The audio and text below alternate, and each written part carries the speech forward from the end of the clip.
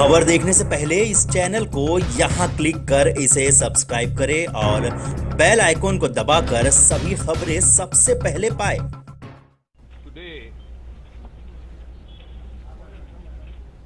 There has been, uh, against the accused in the 2G Spectrum case, a judgment of acquittal by the special judge. I wish to comment on the political aspects of this case. The Congress party leaders are treating this judgment as some kind of a badge of honor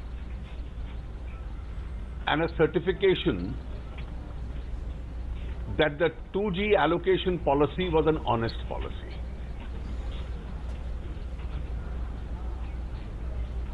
Let us first of all recollect what the 2G spectrum allocation policy was. In the year 2007 and 8, spectrum was being given not by an auction, not by a market mechanism determining the price of 2007 and 8, but on basis of a price discovery which was made in 2001. That is, in 2007 and 8, spectrum was being allocated by the UPA government on basis of 2001 prices. Per licensee,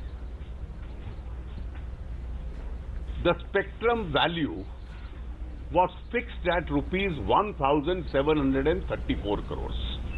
That is 1734 crores even within the policy implementation, there was huge element of arbitrariness.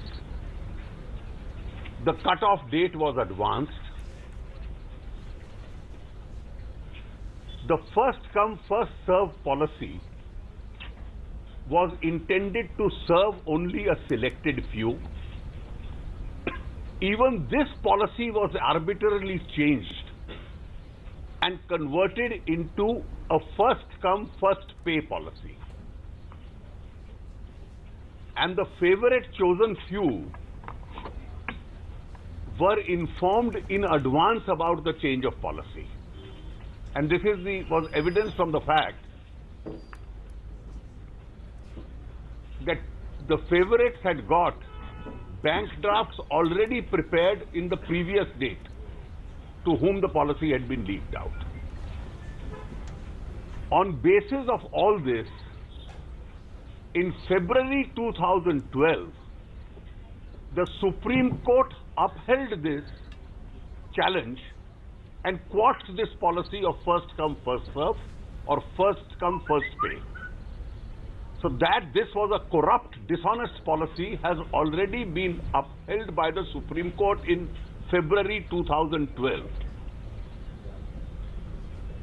Each and every case of spectrum allocation was quashed by the Supreme Court as arbitrary and unfair.